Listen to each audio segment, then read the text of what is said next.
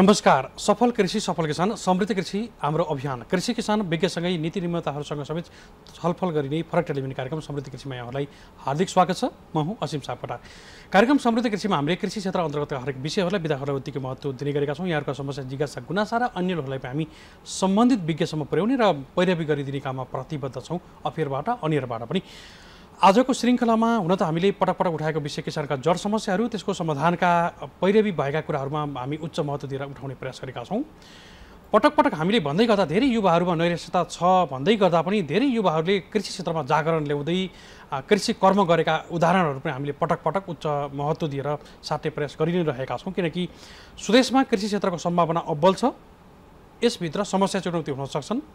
अलिकति बढी जोखिम पनि हुनसक्छ बेला बेला तर हामीले सावधानीपूर्वक काम गरेको खण्डमा चाहिँ आफ्नो स्मार्टनेस अथवा स्मार्टपनलाई चाहिँ हामी अगाडि बढाएर चाहिँ काम गर्ने भने पक्कै पनि सबल बन्न सकिन्छ सफल बन्न सकिन्छ।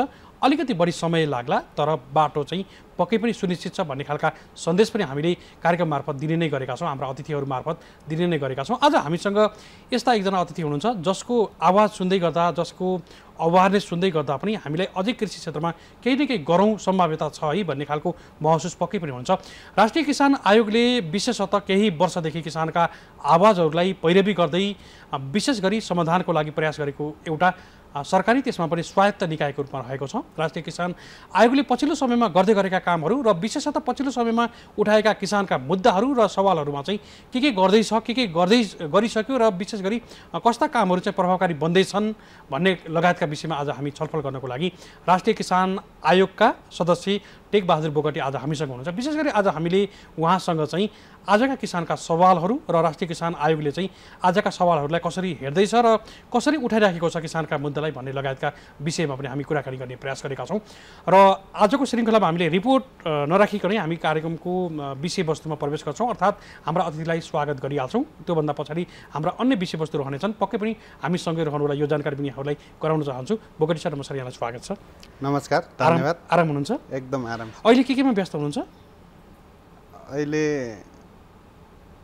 हाम्रो अफिसियल्ली काममै बिजी छु भन्नु पऱ्यो। यो आर्थिक वर्ष दुई हजार एकासी बयासीको चाहिँ यो विशेष समस्याहरू अथवा चाहिँ विशेष कामहरूको कार्यान्वयनको पक्षमा पनि अब कसरी जान जाने भन्ने पनि तयारी पनि होला। अहिले विशेषतः केही समय अगाडि अघिल्लो आर्थिक वर्षमा पनि विभिन्न जिल्लाहरूमा यहाँ पुग्नु भएको थियो। पूर्वका पनि पश्चिमका पनि विभिन्न जिल्लाहरूमा पुग्नु भएको थियो। विशेष गरी किसानका जड समस्या खोज्नको लागि र पैरवी गर्नको लागि पनि तम तयार भएर लाग्नु भएको थियो। किसानका वास्तवमा कस्ता समस्या रहेछन् नि? देशैभरि यहाँ घुम्दै गर्दा चाहिँ। यो मैले जहिले पनि भन्ने गरेको छु यो कृषि क्षेत्र यो आफैमा यो भवसागर हो। र यसलाई बुझ्न र व्यवहारमा लागू गर्न त्यत्तिकै भवसागर छ। र कृषि क्षेत्रमा आत्मनिर्भरता जैविक विविधता सहितको र आयातलाई प्रतिस्थापन र उत्पादन वृद्धि मार्फत तपाईँको चाहिँ निर्यातलाई प्रोत्साहन गर्ने खालको चाहिँ हामीले चाहिँ नीति लिएका छौँ। नेपाल सरकारले नीति नीति लिएको छ र यस अन्तर्गत कृषि विकास रणनीति जुन भएको थियो त्यो रणनीति कृषि विकास रणनीति अनुसार राष्ट्रिय किसान आयोग पनि गठन भयो र किसान आयोगले तत्पश्चात अ, काम सुरु गरिरहेको छ र खास गरिकन अहिले राष्ट्रिय किसान आयोगले कृषि र कृषकका समस्याका कुरा किसानका अधिकारका कुरा खास गरिकन कृषक अधिकार र किसानबाट उत्पादन गरेको वस्तुलाई आत्मनिर्भरताको दिशातिर कसरी लैजाने यो मुलुकलाई? र कृषकका समस्या के हुन् र बजारका समस्या के हुन् उत्पादनका समस्या के हुन् र राज्यका समस्या के हुन् भनेर चाहिँ हामीले चाहिँ काम गर्ने गरेका छौँ। र त्यही अन्तर्गत हामीले चाहिँ किसानका सूचीकरणकै सवालका कुरा गर्नुहोस् वर्गीकरणको कुरा गर्नुहोस् किसानले उत्पादन गरेको वस्तुको मूल्यका कुरा गर्नुहोस् र बजार को कुरा गर्नुहोस्। यावत तपाईँको चाहिँ कुरा हामीले चाहिँ काम चाहिँ गरिरहेका छौँ भन्नुपर्छ. अहिले पछिल्लो समयमा यहाँले अफेयरमा पनि भन्नुभएको थियो यो कृषि विधेयकको कुरामा पनि हामी अगाडि बढेका छौँ भनेर यहाँले भन्नुभएको थियो। यो अबको आवश्यक त हुँदै नै भयो र यसमा पनि विशेष गरी यहाँहरू आफै तयार भएर लाग्नु भएको छ है। कृषि विधेयकको रूपमा अहिले आइरहेको छ योभन्दा अगाडि हाम्रो कृषि क्षेत्र र समग्र कृषि चाहिँ एउटा नीतिमा कृषि नीति दुई हजार एकसट्ठी भन्ने थियो त्यसलाई परिमार्जित र संशोधन दुई हजार त्रिहत्तर हुँदै संशोधन हुँदै आइरहेको छ र कृषिको संविधानले कृषि क्षेत्रलाई दिएको मौलिक अधिकारको रूपमा रहेका किसानका अधिकारहरू चाहिँ एउटा कानुनमा लिपिबद्ध गर्नुपर्ने ऐन ल्याएर अनि गएर तपाईँ कृषि विधेयक ल्याएर तपाईँको चाहिँ व्यवस्थित गर्नुपर्ने जो हुन्छ त्यसलाई चाहिँ तपाईँको चाहिँ व्यवस्थित गर्ने गरिकन अहिले कृषि मन्त्रालय हुँदै तपाईँको सरकारले नै अगाडि बढाइराखेको छ। त्यसलाई समृद्ध गर्ने र त्यसलाई हामीले तपाईँको चाहिँ अगाडि बढाउने कार्य पनि हामीले सुरु गरेका छौँ। मैले हेरिराखेको छु यहाँले भनिराख्नु भएको छ। यो ठ्याक्कै हेर्दै थिएँ। अहिले किस कृषि विधेयकको कुरा किसान सूचीकरणका कुरा किसान वर्गीकरणका कुरालाई उच्च महत्त्व दिएर अहिले उठाएको चाहिँ देखिन्छ। तर यो कुरा चाहिँ यो विभिन्न पालिकाहरूमा पनि कुनै कुनै पालिकाले आफ्नै कार्यविधि बनाएर पनि यो गरेको देखिन्छ। अलिकति यहाँनिर अन्यल जस्तो कन्फ्युजन जस्तो देखिन्छ कि यसलाई चाहिँ किसान आयोगले चाहिँ कसरी हेरेको छ र विशेष गरी अबको यो वर्गीकरण र पहिचान सहितका कुराहरू पनि उठ्छ नि यो चाहिँ कस्तो खालको विषय हो खासमा चाहिँ? यो खासमा नेपाल सरकारले दुई हजार सतहत्तर सालबाट यो कृषि सूचीकरण कार्यक्रम सञ्चालन गरेको छ र त्यसलाई तपाईँको निरन्तर रूपमा चल्दै आएको छ। यसलाई हामीले आफैले पनि के भन्नुपर्छ भने यो ढिलासुस्ती भएको छ भनेर स्वीकार गर्नुपर्छ। यो हाम्रो विषय हो यो राष्ट्रिय किसान आयोगको विषय हो र आम नेपाली किसानको विषय हो। यसलाई तपाईँको चाहिँ किसान हकितसँग जोडेर यसलाई किसान कल्याणसँग जोडेर यसलाई तपाईँको कृषकको सामाजिक सुरक्षासँग जोडेर पनि हामीले चाहिँ यसलाई लैजाँदैछौँ। र लिनको लागि हामीले सिफारिस गर्दैछौँ। र यसलाई तपाईँको चाहिँ सामाजिक सुरक्षाको अर्थ कसरी लिने त यसका विभिन्न मोडलहरू हुन सक्छन्। जस्तै सामाजिक सुरक्षा अन्तर्गत किसानको पनि सामाजिक सुरक्षाको कुरा छ किसान मजदुरको पनि कुरा छ। यसलाई समेत तपाईँको चाहिँ समेट्ने गरिकन यो व्यावहारिक हिसाबले लागु हुने गरिकन यो ढिलासुस्ती नगरिकन यो आउने यो आर्थिक वर्षभित्र सम्पन्न गर्ने गरिकन तपाईँको चाहिँ सम्पूर्ण आम नेपाली किसानले त्यसको चाहिँ सूचीकरण मात्रै होइन त्यसको पहिचान मात्रै होइन। त्यसलाई तपाईँको चाहिँ सूचीकरणमा आबद्ध भएर त्यसको तपाईँको चाहिँ पहिचान पत्र आधार कार्ड जस्तै भनौँ न एउटा कार्ड दिएर मात्रै नभएर त्यसको वर्गीकरण गरेर त्यसको वर्गीकरणका आधारमा किसानले पाउने सेवा सुविधाहरू जस्तै सामाजिक सुरक्षाको कुरा एउटा पक्ष भयो।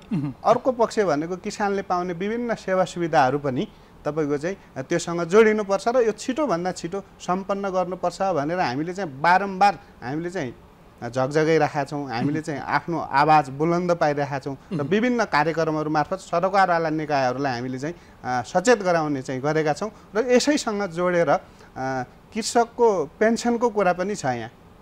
मुखले पेन्सन किसानले पेन्सन पाउनुपर्छ भनेर त जो कोहीले पनि भन्ने गर्छन् तर कसरी चाहिँ त्यो लागू गर्ने भन्ने कुरा यो के हो त भन्दा गम्भीर विषय हो। के का आधारमा तपाईँले चाहिँ किसानलाई पेन्सन दिनुहुन्छ? तपाईँले दस वर्ष कृषि पेसामा आबद्ध भएर कृषि उत्पादन गरेको आधारमा दिनुहुन्छ कि? तपाईँ बिस वर्ष निरन्तर कृषिमा लागेको आधारमा दिनुहुन्छ कि? अथवा तपाईँले चाहिँ कृषिमा कुनै तपाईँको चाहिँ एउटा निश्चित क्षेत्र स्थानीय तहको वडा अथवा पालिका स्थानीय प्रदेश र हाम्रो राज्यलाई आत्मनिर्भरताको बाटोमा यसको यति पर्सेन्ट भूमिका छ भनेर गर्नुहुन्छ कि? अथवा तपाईँको सामाजिक सुरक्षा कोषै खडा गरेर एउटा तपाईँको चाहिँ त्यो कोष खडा गरेर त्यो कोष मार्फत गर्नुहुन्छ कि? यस्ता विविध खालका यहाँ चाहिँ सवालहरू छन्। अहिले एक ढङ्गले के भन्न सकिन्छ भने सामाजिक सुरक्षा जस्तै सत्तरी वर्ष थियो पहिला अहिले अडसट्ठी वर्ष बन्न आएको छ नेपाल सरकारले। अडसट्ठी वर्ष कटेका वृद्धहरूलाई जसरी सामाजिक सुरक्षा भत्ताको रूप स्वरूप चार हजार मासिक दिइने गरिन्छ त्यही हिसाबले ठ्याक्कै अहिले प्रस्तावको रूपमा त म भन्दिनँ। तर कृषकले पनि त्यो मोडालिटीमा तपाईँको चाहिँ मासिक कम्तीमा हजार रुपियाँ चाहिँ यो सरकारले कृषकलाई दिनुपर्छ भन्छौँ भन्छौँ हामी चाहिँ। राष्ट्रिय किसान आयोगले के भनेको छ भने कृषिका। अटोमेटिक होइन। त्यो त्यो विधिले पाउने बनाउनु पर्यो। त्यो कानुनी हिसाबले त्यो अहिले बन्दै गरेको किसान विधेयक जो भन्यौँ त्यो किसान विधेयकमै सुनिश्चित हुनु पर्यो किसानको हक किसानको सामाजिक सुरक्षाको कुरा। त्यसरी भनिरहेका छौँ हामी त। यो कुरा मात्रै गरेर होइन कि प्र्याक्टिसमै जानु पर्यो कानुनै बन्नु पर्यो एउटा। र अर्को कृषि मजदुरहरू छन्। कृषि कर्ममा लागेका किसानका पनि विभिन्न सीमान्तकृत किसान व्यवसायिक किसान ठुला व्यवसायिक उत्पादक किसान साना उत्पादक किसानदेखि लिएर विभिन्न जो कृषिको वर्गीकरण छ जमिन नभएका भनौँ न भाडामा सम्झौता गरेर कृषि गरिराखेका किसान विविध खालका किसानहरू जो हुनुहुन्छ उहाँहरू सबैलाई समावेश हुने गरी सबैले तपाईँको चाहिँ मासिक तपाईँको चाहिँ रकम पाउने गरी अब साझेदारीमा पनि हुनसक्छ। है? लगानीमा आधारित अथवा तपाईँको चाहिँ उत्पादनमा आधारित भन्नु पर्यो। उत्पादनमा उत्पादन। आधारित पनि हुन सक्ने भयो। र सँगसँगै तपाईँको चाहिँ मजदुर पनि त छन् त कृषि। त्यो अर्थमा अर्को फेरि मोडलको कुरा हो यो फेरि। मोडल जस्तो वार्षिक अहिले चाहिँ प्रधानमन्त्री कृषि आधुनिकरण के अरे कार्यक्रम चाहिँ एउटा छ र सँगसँगै अर्को कार्यक्रम के छ त भने प्रधानमन्त्री स्वरोजगार कार्यक्रम भन्ने छ कि। त्यसमा आम नेपाली जनसमुदायले चाहिँ स्व स्वरोजगारको काम पाउनुहुन्छ करिब साठी दिन वर्षमा। भने कृषि क्षेत्रको कृषक र किसानले बेरोजगार किसानले तपाईँको कम्तीमा तिन सय पैँसठी दिन हुन्छ वर्षमा। वर्षको सय दिन रोजगारी सिर्जना गर्नु पर्यो कृषकलाई। भन्ने कुरा पनि हामीले चाहिँ यो विधेयकमा नै सुनिश्चित गरिनुपर्छ। यो किसान कल्याण सँग जोडिनुपर्छ भन्ने हिसाबले हाम्रो भूमिका छ। हाम्रो चाहिँ यहाँनिर लाग्नु भएको छ। यो त आवश्यक पनि भयो। जस्तो अहिले सामाजिक सुरक्षा कोष अन्तर्गत प्राइभेट संस्थाहरूले पनि प्र्याक्टिस गरेका छन् कि योगदानमा आधारित जुन योगदान गरिन्छ यसमा सरकारले पनि अलिकति सपोर्ट गरेर पछाडि पेन्सन दिने कुरा पनि छ। अहिले कर्मचारी प्र्याक्टिस गरिएको छ प्राइभेट क्षेत्रमा पनि। यो चाहिँ किसानमा पनि यसरी लागू गर्यो भने चाहिँ सम्भव छ यहाँले भन्नु भन्नुभएको छ। यो मोडल अथवा अर्को मोडल मोडल चाहिँ जस्तो सुकै हुनसक्छ तर यसरी गर्यो भने चाहिँ सम्भव छ भन्ने कुरामा चाहिँ यहाँले कन्फर्म पनि गर्नुहुन्छ है। त्यो एउटा पाटो भयो मैले मैले अघि पनि भने हजुरलाई किन भन्दा पेन्सनको कुरा उठेको एक दशकभन्दा बढी भइसक्यो। यद्यपि अहिले चाहिँ यहाँले ठ्याक्कै भन्दै गर्दा यसलाई कसरी चाहिँ परिपुर्याएर चाहिँ यसलाई गराउन सकिन्छ यसका यसका विभिन्न मोडलहरू छन्। मैले अघि भने तपाईँलाई सामाजिक सुरक्षा भत्ता जसरी वृद्धहरूलाई दिइन्छ त्यसरी कृषकलाई मानौ चालिस वर्ष कटेको कृषक कृषिमा निरन्तर छ। श्रममा जोडिएदेखि कृषि उत्पादन गर्छ। तर चालिस वर्ष कटेकोलाई मासिक हजार रुपियाँ दिने भन्न पनि त सकियो नि। तर त्यो मुखले भनेर मात्रै त भएन। त्यो नारा बनाएर मात्रै त भएन। कानुनमै ऐनमै तपाईँको आउने विधेयकमै तपाईँको चाहिँ सुनिश्चित हुनु पर्यो। संविधानले दिएको मौलिक हक अन्तर्गत किसानको पनि तपाईँको चाहिँ मौलिक हक छ र किसानको पनि तपाईँको चाहिँ सामाजिक सुरक्षाको कुरा छ। किसानलाई किन नदिने तपाईँको चाहिँ चालिस वर्ष कटेको अथवा तपाईँको चाहिँ ल चालिस वर्ष कटेको कसैले हुँदैन भन्ला। यो त प्रस्तावको कुरा मात्रै गरेको मैले। तर दिन चाहिँ दिनु नै पर्छ जसरी पनि। तर साठी वर्ष कटेको किसानलाई सामाजिक सुरक्षामा जोडेर तपाईँको चाहिँ थप हजार रुपियाँ दिएर जाने भनेर नेपाल सरकारले घोषणा गर्न सक्छ कानुन ल्याउन सक्छ त्यो कुराको ओकालत गरिरहेका छौँ भनेको मैले। अब ठ्याक्कै तपाईँको चाहिँ मोडल त्यही नहुन सक्छ।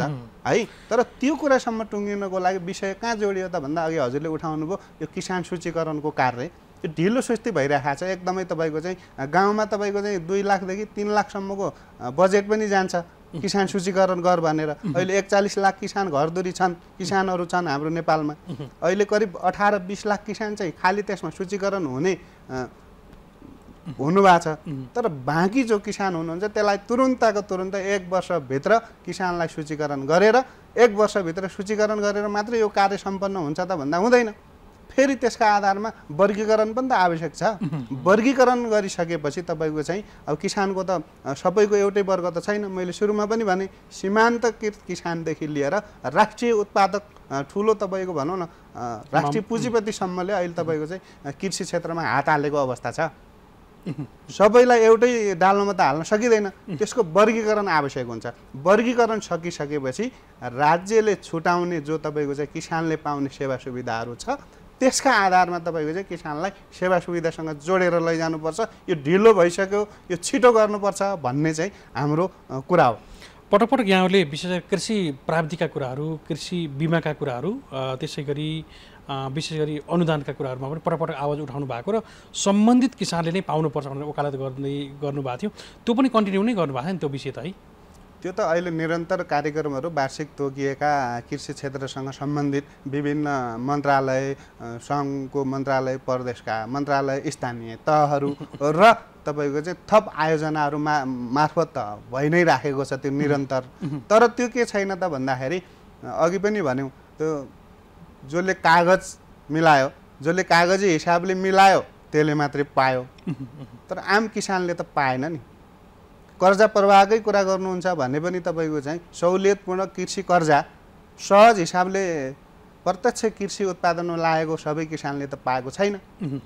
पहुँच पुगेको कागज मिलाउन जानेको मान्छेले मात्रै पाएको छ। यो समग्रमा के हो त भन्दाखेरि सहज ढङ्गले सहज ढङ्ग ढङ्गले सबै सेवा सुविधाहरू किसानले सहज ढङ्गले पाउनु पर्यो। जस्तै बैङ्कमा जानुहोस् बैङ्कमा जाँदाखेरि कृषि सहुलियत दरको कर्जाकै कुरा अथवा तपाईँको सब्सिडीकै कुरा अनि गएर काम गरिसकेपछि भुक्तानकै कुरा होइन?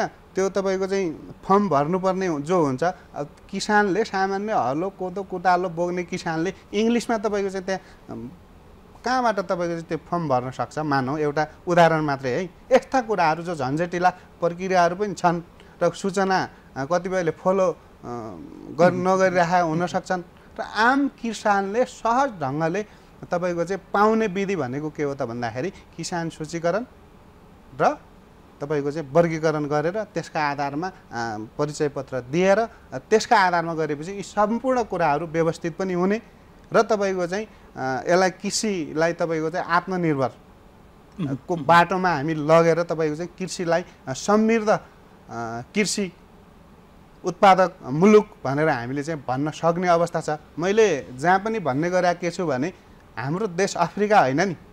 तपाईँलाई मैले बारम्बार भन्छु म जहाँ जान्छु म बारम्बार के भन्छु भने तपाईँको चाहिँ बिउ। यसरी तपाईँले हातमा लिनुहोस् भिर पहरामा फालिदिनुहोस् यसरी। उम्रिने ठाउँ हो हाम्रो यस्तो भूगोल छ यस्तो भूमि छ हाम्रो। यस्तो भूमिमा हाम्रो चाहिँ भूमि बाँझो गइरहेको छ। हाम्रो सिँचाइयोग्य भूमि करिब तपाईँको चाहिँ बत्तिस लाख अठार हजार हेक्टर सिँचाइयोग्य जमिन छ हामी कहाँ। त्यो बत्तिस लाख अठार हजार हेक्टर जो जमिन सिँचाइयोग्य जमिन छ अहिले करिब बाह्र तेह्र लाख हेक्टर जमिनमा मात्रै सिँचाइ पुगिराखेको अवस्था छ। यसलाई तपाईँको चाहिँ हामीले हिसाब गऱ्यौँ योभन्दा अगाडि कृषि मिटर लागू गरिनुपर्छ भनेर भन्यौँ।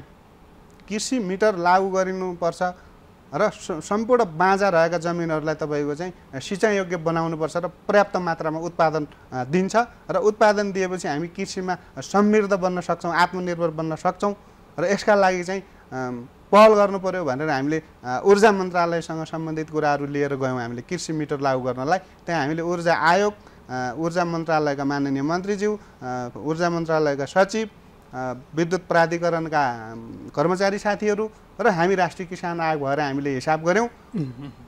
सम्पूर्ण जग्गालाई चौबिसै घन्टा हामीले सिँचाइ यदि विद्युत मार्फत सिँचाइ पुर्याउने हो भने पनि वार्षिक जम्मा दुई मेगावाट भए पुग्दो रहेछ। असीम सर यहाँ हेर्नुहोस् है। हाम्रो युवाहरू विदेश पलायन भइरहेको छ ग्रामीण इलाको ज जमिनदेखि लिएर तराईको हाम्रो पहाड तराई पहाड हिमाल जो छ सबै ठाउँको जमिन अहिले बाँझो छ हाम्रो। यसलाई पनि तपाईँको चाहिँ उपयोगमा ल्याउने कुरा चाहिँ हुन्छ यी कार्यहरू सक्यौँ भने। यहाँले निकै महत्त्वपूर्ण विषय भनिराख्नु भएको छ। मैले सुन्दै पनि थिएँ। हामीले पटक पटक सकेसम्म नेगेटिभ कुरा नगरौँ कृषि क्षेत्रका सकारात्मक गरौँ युवालाई जागरण गरौँ र सम्भावना छ भनेर पनि एउटा उत्प्रेरणा दिउँ भनेर लाग्दैछौँ। यहाँले पनि ठ्याक्कै हामीले जुन भनेका छौँ ठ्याक्कै त्यही नै गर्नुभएको छ। यहाँहरू पनि लाग्नु भएको छ। यो भन्दै गर्दा पनि राज्यका संयन्त्रहरूसँग चाहिँ किसानहरूको रुष्टता र युवाहरूको भने जस्तो आकर्षण छैन कि? हामीले यो भन्दै गर्दा पनि यति धेरै हामी खर्बौँका कृषि उपज आयात गरेका छौँ। यही खपत हुन्छ सम्भावना पनि छ। हामीले निर्या- निर्यातयोग्य बालीहरू उत्पादन गऱ्यौँ भने विशिष्ट मूल्यमा बिक्री गर्न सक्ने हाम्रो आधार पनि छ। यो हुँदै गर्दा पनि युवाहरूमा भने जस्तो आकर्षण चाहिँ छैन कि? यो के कारण रहेछ? राजनीतिक अस्थिरता अथवा अरू कारण? यसलाई राजनीतिसँग पनि नजोडौँ। अब यो हुन त राजनीतिसँग नजोड्दाखेरि यो राज्यको कुरा आउँछ यो राज्यले दिने सेवा सुविधा र राज्यले आकर्षण उत्पादन गर्ने कुरा हो युवाहरूमा। उत्पादन शक्ति भनेर युवा शक्तिलाई लगिन्छ। उत्पादन शक्तिकै तपाईँको चाहिँ विदेश बोलाइन्छ यसलाई रोक्ने पहिलो आधार भनेकै हाम्रो कृषि हो। कृषिमा लगानी हो। अहिले तपाईँको मोटामोटी करिब तिन खर्बको वार्षिक कृषि जन्य सामग्री हामीले भित्राइराखेका छौँ। अहिले मैले अघि भने नि मुठीमा समातेर फाल्दा पनि उब्जिने ठाउँमा उब्जिने भूमिमा हामी चाहिँ तिन खर्बको वार्षिक कृषि सामग्रीहरू आयात गरिरहेका छौँ। त्यो विडम्बना होइन। त्यो विडम्बना केसँग जोड्नुहोस् त भने त्यो विदेश गएको तपाईँको चाहिँ युवासँग जोड्न जरुरी छ। उत्पादन शक्ति हो नि त त्यो। उत्पादन शक्तिको विदेश पलायन कसले रोक्ने अहिले?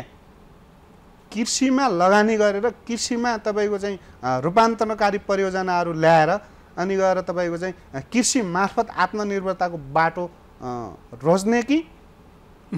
विदेश पलायन गराएर युवा शक्तिहरूको तपाईँको चाहिँ श्रमबाट आर्जित त्यो रेमिट्यान्सबाट हाम्रो देश बाँच्ने यो दुईवटा प्रश्न हामी कहाँ छ? मुख्य कुरा के हो त भन्दाखेरि तैपनि हामी कहाँ यहाँ जमिन खाली भए नभएर तपाईँको ठाउँ नभएर त होइन जमिन फेरि बाँझो छ। यस हिसाबले पनि कृषि क्षेत्रलाई तपाईँको यो राज्यले यो राज्यका हरेक निकायले तपाईँको चाहिँ अधिकतम तपाईँको चाहिँ लगानी गर्नुपर्छ। अधिकतम यसमा तपाईँको चाहिँ सेवा सुविधा दिनुपर्छ र कृषिमा आकर्षण बढाउनुपर्छ। अनि मात्रै हामी चाहिँ के गर्न सक्छौँ त भने आयातलाई प्रतिस्थापन गर्न सक्छौँ र उत्पादनलाई वृद्धि गर्न सक्छौँ र अनि मात्रै हामीले तपाईँको चाहिँ निर्यात गर्न सक्छौँ। कति सजिलो? यहीँ हाम्रो चार घन्टाको दूरीमा खाडी मुलुकहरू छन् तपाईँले बिहान हजुर त यहीँ पोखरा गण्डकी प्रदेशको हुनुहुन्छ स्यान्जा भनौँ। त्यहाँबाट तरकारी काटेर ल्याएर तपाईँ काठमाडौँ त्रिभुवन विमानस्थल पनि अहिले त आउनु पर्दैन। भलै सञ्चालन भएको छैन पोखरा विमानस्थल। पोखराको विमानस्थलबाट बिहान तपाईँले आफ्नो बारीबाट ल्याएर मुठा पारेको साग दुबईमा लगेर तपाईँले चाहिँ पाक्ने भान्सामा पकाउन सक्ने स्थिति छ नि। साउदीमा लगेर पकाउन सक्ने स्थिति छ नि। यथार्थ त त्यो हो नि। त्यो किसिमको वातावरण हामीले निर्माण गर्नतिर लाग्ने कि नलाग्ने? यो चाहिँ चुनौतीको कुरा हो। हाम्रो भनाइ नै के हो त भन्दाखेरि युवाहरूको विदेश पलायन रोकेर यहीँ तपाईँको चाहिँ प्रशस्त मात्रामा तपाईँको चाहिँ लगानी गर्ने वातावरण सिर्जना गरिदिएर राज्यले नै तपाईँको चाहिँ सर्वसुलभ र सहज तपाईँको चाहिँ निर्व्याजी रूपमा तपाईँको चाहिँ पैसाहरू दिएर उद्यम गर्न ला लाउनुपर्छ भनेर भन्छौँ हामी। निकै महत्त्वपूर्ण विषय। यहाँले भन्दै गर्दा यो खालको प्र्याक्टिस हामीले हरेक चिजहरूमा चाहिँ अहिले निर्यात गरेका चिजहरूमा तरकारी पनि निर्यात भएको छ कतार लगायतका गल्फ कन्ट्रीहरूमा। विशेष गरी त्यो प्रयास चाहिँ भएको थियो सफल पनि भएको देखिन्छ कि। यो भन्दै गर्दा यति धेरै सम्भावना छ तर युवाहरूलाई वास्तवमा चाहिँ अब चाहिँ सम्भावना छ भनेर चाहिँ हामी सबैले अवेरनेस गर्नुपर्ने एउटा र राज्यले चाहिँ साँच्चैकै युवाहरूलाई त्यो खालको अभिभावकत्व चाहिँ गर्नु पऱ्यो है? त्यो त गर्नै पर्यो। मैले भने राज्यले नगरेर कसले गर्छ यहाँ? राज्यले मात्रै होइन यो त सामुदायिक समाजमा तपाईँको चाहिँ विविध खालका तपाईँको चाहिँ राष्ट्रिय व्यापी रूपमा तपाईँको चाहिँ राष्ट्रलाई माया गर्ने है? यो राष्ट्रलाई तपाईँको चाहिँ जोगाउने र यो राष्ट्रियताको मुद्दा बनाउने हो भने तपाईँको चाहिँ कृषिको आत्मनिर्भरता नभइकन अरू के हुनसक्छ? अहिले भन्ने भन्नुहोस् न। तपाईँको चाहिँ मान्छे तपाईँ हामी मान्छे अहिले बना के कुन धातुले बनाएको छौँ त पञ्च धातुले बनाए होइन? अहिले तपाईँ हामीले विषादी प्रयोग गरिएका जिएमओ युज गरिएका। सिटबाट तपाईँको चाहिँ उत्पादन गरिएका खानेकुराहरू हामीले खाइरहेका छौँ भने यो मानव स्वास्थ्यको कुरा मात्रै होइन मानव जातिको र मानव जीवन कता पुग्छ भन्ने कुरा हो। जल जमिन जङ्गल लगायत तपाईँको चाहिँ पञ्च धातुबाट बनायो हो नि त हामी त। है अहिले तपाईँको चाहिँ थुप्रै कुराहरू मानव जातिमा समस्याहरू पैदा गरिरहेको छ यसकै है? असर पक्कै यसकै असर हो नि। यो कुरालाई पनि हामीले ख्यालमा राखेर तपाईँको चाहिँ कृषिमा लगानी गर्नुको विकल्प छैन र कृषिलाई तपाईँको चाहिँ प्रोत्साहन गर्नुको विकल्प छैन। यो कुरा तपाईँको चाहिँ मुखले मात्रै होइन व्यवहारले पनि योजना बनाउँदा प्रत्यक्ष किसानको सहभागितामा प्रत्यक्ष सरकारवाला निकाय भनेका को हुन् सामाजिक क्षेत्रमा अन्य तपाईँको चाहिँ सङ्घ संस्थाहरू पनि छन्। यी सबै सबै तपाईँको चाहिँ जिम्मेवार निकायहरू सबैले चाहिँ कृषिमा केही नभए पनि म दुई पर्सेन्ट लगानी गर्छु भनेर अन्यलाई पनि म आह्वान पनि गर्न चाहन्छु। र सबैको तपाईँ चाहिँ कम्तीमा चाहिँ नेपाल सरकारले दस पर्सेन्ट कम्तीमा कृषिमा बजेट राखिदियो भने तपाईँको अहिले जिडिपीमा करिब करिब चौबिस पर्सेन्ट योगदान रहेको छ कृषि क्षेत्रको भने योजनाको अर्थको कुरा गर्नुहुन्छ भने तिन पर्सेन्ट मात्रै छ। यो बढाउनु पऱ्यो नि। यो बढाएपछि तपाईँको चाहिँ अनि न हाम्रो तपाईँको चाहिँ उत्पादन हरियाली हुन्छ गडाहरू हाम्रा खाली छन् त्यो बाँझो छ अनि गएर तपाईँको चाहिँ रैथाने जातहरू खोजी गर्नु पऱ्यो लोप हुँदै गएको छ। यो जिएमओ प्रयोग गरिएको विषादी प्रयोग गरिएको सिडहरूदेखि लिएर उत्पादक त्यो खायौँ भने मैले त पञ्च तत्त्वबाट बनेको मानवलाई नै यो त तपाईँको चाहिँ सरकार पार्छ। घातक हो। घातक हो भन्ने जान्दा जान्दै हामी त त्यो खान बाध्य छौँ नि अहिले। यो कुराहरू कहाँ उत्पादन हुन्छ? त भन्दा हाम्रै देशमा हुन्छ। है अनि गएर तपाईँको चाहिँ विविध खालको अहिले तपाईँको त्यो हाइटेक प्रविधिहरू हामीले ल्याउन भित्र्याउन अनि गएर त्यो मार्फत कृषि गर्न केही जरुरी छ र अहिले? खेत गडा बाँझा छन्। अनि गएर तपाईँको यसरी हातले फालिदिएको भरमा तपाईँको चाहिँ उत्पादन हुन्छ। उत्पादनै नभएर त्यो स्थिति आएको हो त हाम्रो। उत्पादन गर्ने शक्ति नभएर त्यो स्थिति आएको हो त हाम्रो भन्दा होइन। यो सबै कुरालाई क्रस गर्नको लागि राज्यले तपाईँको चाहिँ हरदम हर रात दिन तपाईँको प्रयास गरेर कृषिलाई आत्मनिर्भर बनाउनै पर्छ बन्नुपर्छ। है अनि गएर तपाईँको चाहिँ मात्रै हुन्छ। हामीले चाहिँ यो आयात गऱ्यौँ त्यो आयात गऱ्यौँ। अनि गएर तपाईँको चाहिँ यो नयाँ चिज हामीले खोजेर ल्यायौँ भन्न केही पनि आवश्यक छैन। हाम्रो वन जङ्गलमा तपाईँले खोज्नुहुन्छ भने थुप्रै मान्छेले युज गर्न खा सक्ने र पञ्चधातुबाट बनेको मानव शरीरलाई स्ट्रङ भनौँ न अलिकति बलियो तपाईँको एकदमै शक्तिशाली बनाउन सक्ने भूमि उत्पादन दिन सक्ने भूमि र माटो भनेको त हाम्रै माटो हो नि। यो मेरो दाबी छ। हुन्छ बोगटी सर निकै महत्त्वपूर्ण विषयमा सन्दर्भ जोडिदिनु भयो। हामी धेरै आभारी छौँ। समय सकिएको कारणले गर्दा आज कुराकानीलाई यही नै टुङ्ग्याउन चाहन्छौँ। यहाँप्रति फेरि पनि कृतज्ञ गर्दै विदा गर्न चाहन्छौँ। नमस्कार। म धन्यवाद भन्नु पूर्व यहाँलाई थोरै हामीले चाहिँ राष्ट्रिय किसान आयोगले अहिले किसान सूचीकरणको कार्यलाई एउटा अभियानको रूपमा देशव्यापी रूपमा हामीले चाहिँ सञ्चालन गर्दैछौँ। यो सञ्चालन गर्ने अवसरमा यहाँहरू जो जो कृषि कर्म गरिराख्नु भएको तर किसान सूचीकरणमा प्रक्रियामा तपाईँहरू समावेश नभएको आम नेपाली कृषकहरूलाई यस सूचीकरण कार्यक्रममा जोडिन र यदि सूचीकरण नभएको कोही हुनुहुन्छ भने सूचीकरण हुन पनि म अपिल गर्दै यहाँको मिडियालाई र यहाँलाई धेरै धेरै धन्यवाद दिँदै आफ्नो कुरा यहाँ हुन्छ हुन्छ सर विदा गर्छौँ। हजुर हामीले हाम्रा अतिथिलाई विदा गरिसकेका छौँ। आज हामीसँग राष्ट्रिय किसान आयोगका सदस्य टेकबहादुर बोगटी हुनुहुन्थ्यो। उहाँले भने जस्तै हामीले समृद्ध खोज्नको लागि टाढा जानु पर्दैन। कृषि क्षेत्रले पक्कै पनि समृद्ध आर्जन गर्न सक्छ। आज विदेशीका युवाहरूलाई स्वदेशमै राखेर चाहिँ हाम्रा भएका भूमिलाई अथवा बाँझिएका भूमिलाई हराभरा बनाउन सक्ने सामर्थ्य छ सम्भावना छ र हामीले उत्कृष्ट उत्पादन विशिष्टकृत उत्पादन गुणस्तरको उत्पादन गरेर हामीले हामीसँगै हामी निर्यात गरेर चाहिँ त्यसबाट मनज्ञ कमाउन सक्ने आधार छ भन्ने खालको महत्त्वपूर्ण विषयलाई हामी सन्दर्भ जोड्दै थियौँ। आजको श्रृङ्खलामा जुट्नुभएका उहाँलाई फेरि पनि आभार भन्न चाहन्छौँ भन्दै आजको श्रृङ्खलाको समय सकिने सकेको छ। यहाँहरूका कुनै पनि समस्या जिज्ञासा गुनासाहरू र अन्यहरू रहे भने हामी सम्बन्धित विज्ञसम्म पुर्याइदिने काममा निशुल्क रूपमा चाहिँ हामीले हटलाइन नम्बर पनि यहाँहरूलाई टिपाउने गरेका छौँ। अन्ठानब्बे पाँच दस सन्तानब्बे एक बयानब्बे अन्ठानब्बे पाँच दस सन्तानब्बे एक बयानब्बेमा टेलिफोन अथवा एसएमएस गरेर आफ्नो कुरा राख्न सक्नुहुन्छ। भन्दै असीम सापड यहाँहरूको माझबाट बिदा हुने अनुमति माग्छु। स्वदेशमै रहौँ कृषि कर्म गरौँ। नमस्कार।